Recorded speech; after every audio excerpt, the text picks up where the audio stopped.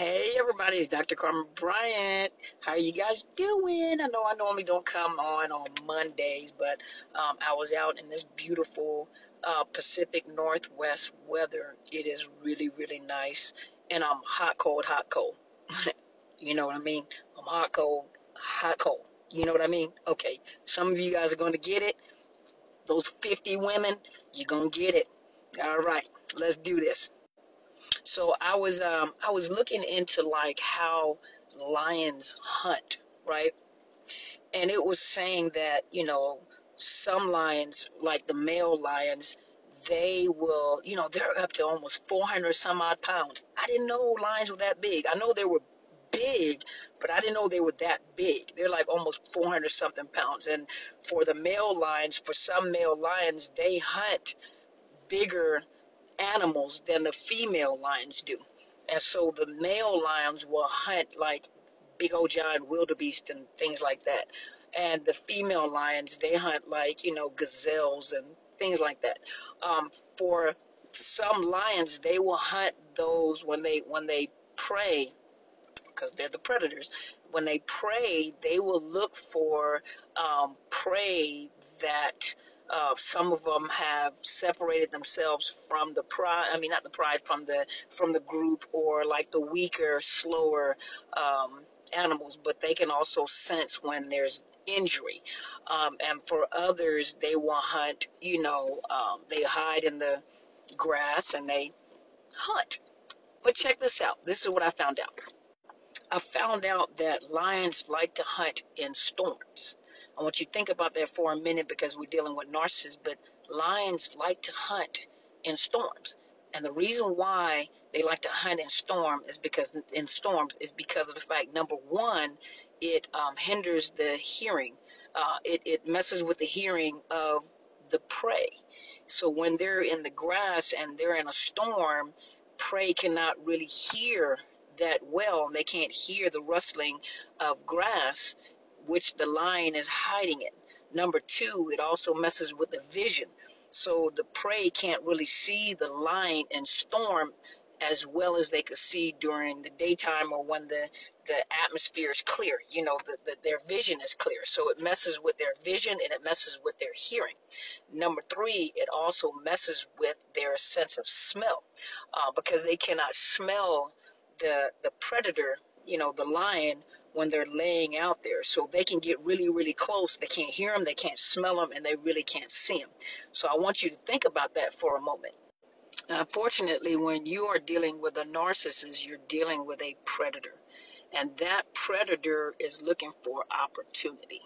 And the best way to hunt you is to check to see when you are in a storm you know they they watch. A lot of them watch. And when you say watch what do you mean watch? Some of them are watching you in your daily life. When you go to work you know when you when you go out to eat when you go get coffee you know a lot of them have have locked in. They see you. They're watching you.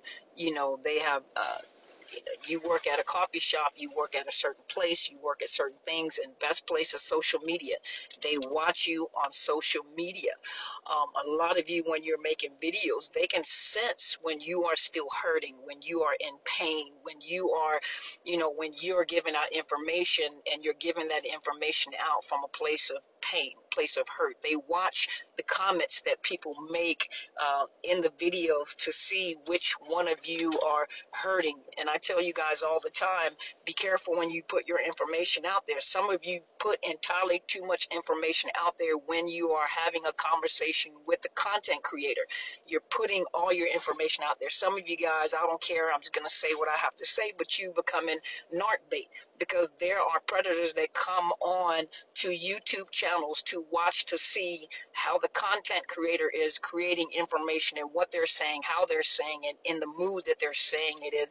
They're watching your facial expressions, they're watching watching or listening to your voice inflection, they're listening to um, you know what information you're putting out and how you're putting it out, put it that way.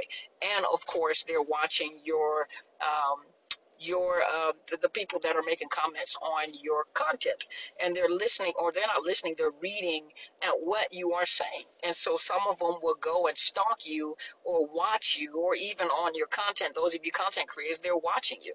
What do you think? How do you think the narcissist is evolving? They're not learning; they're evolving. And then for for a lot of you, you think about it. You know, a lot of you, when you are in a storm or when you are in pain, you're not listening to the red flags. You're not listening to what they're saying. They're telling you who they are. They're telling you what they're doing and who they are. And the thing about it is, they're never going to give you, even the ones that are making content, they're never going to tell you um, all of the ways that you can destroy a narcissist. You know, why would they tell you that? You know, and then on top of that, they also know who, you know, you don't think that they're that stupid. They're not as stupid as you think they are. Some people think that a narcissist is that stupid. They're some of them not as dumb as you think they are. Some of them are highly intelligent. Why do you think you have the cerebral narcissist? And some of them, like most of them, are opportunists. You know, they're watching you. They're taking opportunity. They're looking for the weakest link. You know, they're looking for the the hurting prey. They're they're looking. Think about it in the storm, in the lion, in the storm. You're you're hearing. You can't you're not listening to what they're saying. You're looking for something to keep you from hurting. You're, it feels good when they when they feed you know when they feed you the emotions that you're looking for. So it feels good when you hear them talking to you or complimenting you or making you feel better or contact me and I understand what you're saying and it makes you feel good. That's what you're looking for. And then your vision. You know, you're looking right at something, but you're not paying attention to what you're seeing and you make excuses you justify what you're seeing. And a lot of times what you see and what you're hearing they're telling you that you they're telling you who they are. And when they tell you who they are believe them the first time but for most people, you know, you're, you're trying to give the person the benefit of the doubt. You don't believe that a person can be that cruel or that evil. And when you're dealing with a narcissist, sometimes you cannot explain, you know, like, like uh, Dr. Phil said, and like many people say, you know, sometimes science doesn't explain everything. You're not, you, science does not explain everything. There is something behind that mental health. And I understand that not everybody is a believer. We understand that, but you can tell that there is something very evil behind this disorder. You know, yes, I understand people, ah, you're trying to spiritualize everything, but I guarantee you one thing that we can all agree to is there's something not right. There's something beyond just a mental health disorder, a psychological um, disorder, a personality disorder. I tell you guys over and over again be careful. Be careful what you're saying. Be careful that you're not putting all your business out there. Be careful, you know, when you are in pain, it's not the time to have a conversation or talk or tell all your business. Because when you're dealing with a predator, they pick up on all that. They pick up on your tone. They pick up on your inflection in your voice. They pick up and they talk, they're talking to you to find out where are you hurting.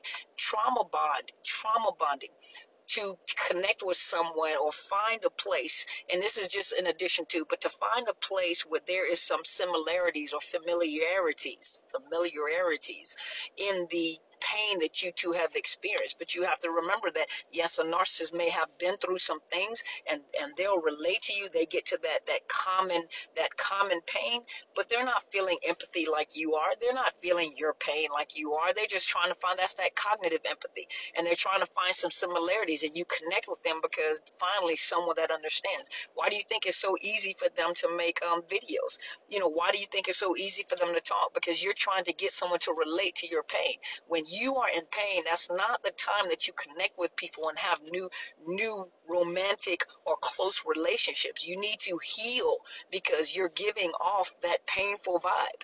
And when you're making videos, don't think for a minute that they don't pick up on the pain. And that's for all of us, even content creators. All of us have to be very careful and who we connect with or who's making comments or who is, you know, trying to connect with you because they're watching. They're watching, believe it or not, they're watching. They're watching. Some of them are in the local areas where you work at, some of them friends, family, um, co workers. Um, like I said, just be careful. Be careful out there because they're watching you. They're watching and they're picking up on everything. The best place to pick up on you is in the midst of the storm when your vision and your hearing, you know, you're not picking up like you're supposed to pick up. You are, your hope is the thing that goes my phone rang, but hope is the last thing to go. And they know this. And they usually hunt those people that are in a place of a storm, place that they're hurting. Be careful, people. Be careful, people. You know, don't just don't underestimate a narcissist. Don't underestimate what they will do.